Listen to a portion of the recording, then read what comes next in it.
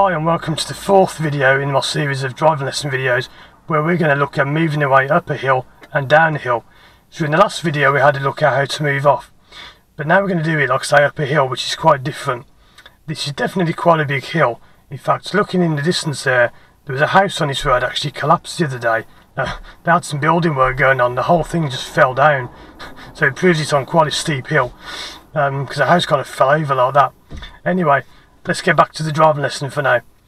So, something I didn't mention in previous videos is when you leave the car parked, um, we'll cover this more when we do about pulling over and braking, but when you leave the car parked, do you know why you're always supposed to leave it parked in first gear?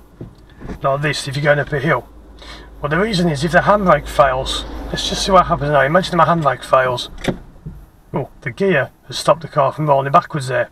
So it's important when you park going up a hill I recommend always leave your car parked in first gear. If my car wasn't in first gear now, my car would be rolling back down the hill. It happened to me once in 2008 when I was sitting on a driving lesson um, and I was just talking to a man called Peter about roundabouts and this car smashed in the back of us and um, he was actually someone who hadn't put the handbrake on properly and the car would roll down the hill. I jumped out of the car um, trying I won't go for too long on this story, I know you want to get the lesson done. But his car, there's no one in it, They'd left their handbag off when they got out, and they come flying down the hill, smashed into me. So very important that whenever you park going up a hill, always leave your car parked in first gear, so if your handbrake does fail, you won't go off. But do you remember from the last lesson, what do you need to do before you turn the car on? Well, I need to make sure the handbrake is on, so I don't roll back.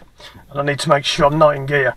Again, I can turn on in gear if I hold the clutch down. I could leave that in first gear and turn, turn the car on now. But I'm not going to do that just for the moment. I'll explain in later videos why you may do that. So the handbrake's on, gears in neutral. Let's get going. I'm going to turn the car on. Moving off up a hill then. Very similar to what we did before this um, on the last video. Like I say, slight difference. What we're going to do is as in the last video, the moving off video, we go clutch down all the way over into first gear.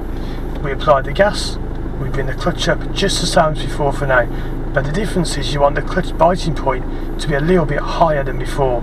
So whereas before that was okay, I now want it to be there, so I've got more of a pull on the car. I also need more gas because otherwise I'm not going to get up the hill, more accelerator. So I'm going to accelerate harder like that. Very important now, rev, rev, rev I bring the clutch. The revs are now about one and a half, quite high, a bit over one and a half. Clutch comes up and the revs go down because that's the clutch taking the power away from the engine, taking it away. So it's all using it to turn the wheels. So you want it to be like that. If you look at the front of the car, it should lift quite a bit. So my clutch before on the flat, the moving around the flat road, the clutch biting point was only there. And if you haven't watched my other videos, you'll need to watch those first before this makes any sense but I'm revving the gas, clutch up to there, that's the flat moving off. On an uphill, I need it to be there, higher. If I don't do that, when I go to move off, and what do I need to do, do you remember, before I move off? Where do I need to look? Yeah, minimum of middle mirror, right mirror, right blind spot. You can do more if you want looking left. You don't have to. There's nothing there at the moment now. There's a fence. No way anyone could be there. There's no people there behind me. So I do gas, clutch higher than before, but only about 2 millimeters higher on the biting point. So gas, clutch about there, do my checks. When I go on the way, I won't indicate because these people I don't think will cross, so they actually say I will because I, they might decide to cross the road like that. There you go, exactly what I said. So handbrake comes off, clutch comes in really, really slowly, and off I go. And I'll pull over again and show you that again. Don't need to indicate now because no one's around behind. So that man, I didn't pay that man to walk over the road then, but that worked out really well. So sometimes you're not planning to indicate and suddenly you may need to. So what I did there was I had the biting point higher on the clutch by about 2 millimeters higher. When I went, I held the clutch still for about 2 seconds, then I brought it really slowly through the biting point like that, and that allowed you to move off on a hill. It's very similar to moving off on a flat, but harder because if you get it wrong you can easily stall. Uh, for example if your clutch is too low you'll just roll backwards. So again accelerator clutch up high like that. So middle mirror right mirror right blind spot. I don't think that woman's going to cross so I won't signal for her no one behind. Handbrake comes off lots of gas, then the clutch comes up. Slowly, very slow, and off I go. I'm going to pull over again here. So again, like I said on my other videos, it's much easier to do this in a real driving lesson. You'll get to feel the pedals pulling. But quite simply, simply, sorry, to move off up a hill, you must have the biting point higher to begin with. So it's gas, clutch there. That's where it would normally be on the flat move off.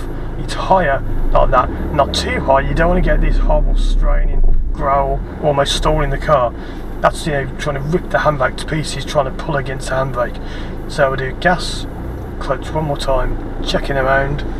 No signal needed. Off I go. Lots of revs, clutch really slowly up, and off I go. So that's moving off up a hill. I will go over that in more detail. Um, in future videos because when we start doing things like um, you know, junctions and that this will all come back then I'm now going to do a quick turnaround um, and then I'll park on the other side of the road and I'll show you moving off down the hill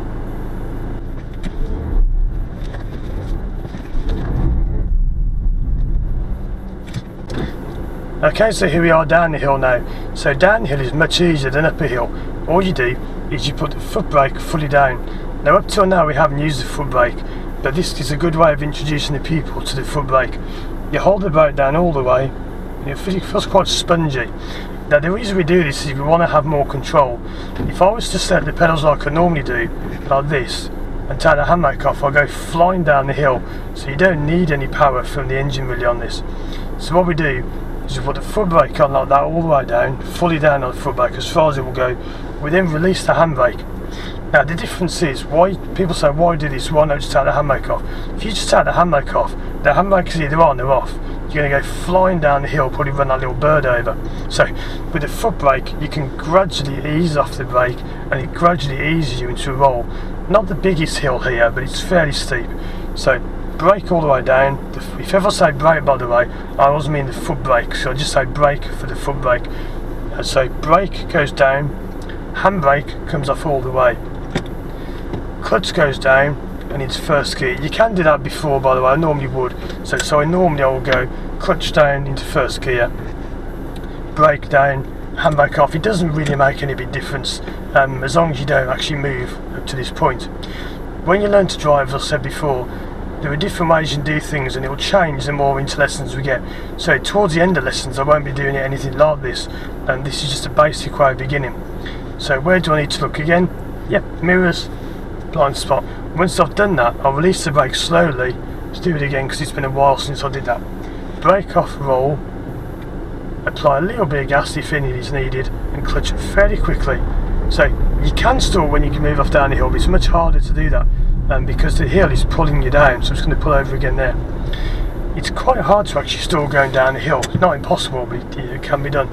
So again, it's uh, the order, again, you don't get too obsessed with the order, as long as you don't move, that's the main thing. But I prefer to go clutch down into one, foot brake goes on, brake that is, handbrake comes off, checking all around, mirror, middle mirror, right mirror, right blind spot, no need to indicate, brake off all the way, slowly roll yourself to a nice roll, apply the gas, clutch it fairly quickly, watch how quick that clutch comes up, and off I go, like that. So I'll do it one more time, Again, braking down with that for now, we'll be looking at braking later on. So, I'm going to go clutch down into first gear, brake all the way down, handbrake releases all the way. I'm holding the car still now with the foot brake.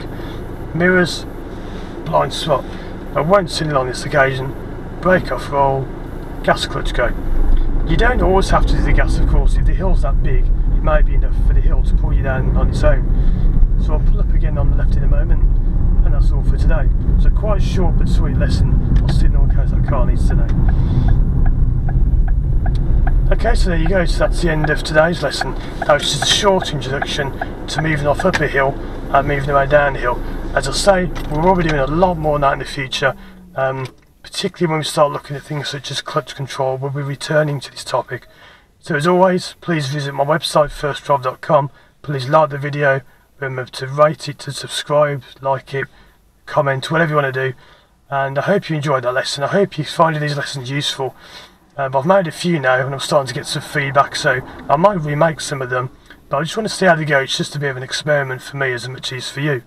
So hope you've enjoyed that, and I'll see you again soon for the next lesson where we're going to be looking at the gears. So how to change up the gears. Okay, so see you again soon for that.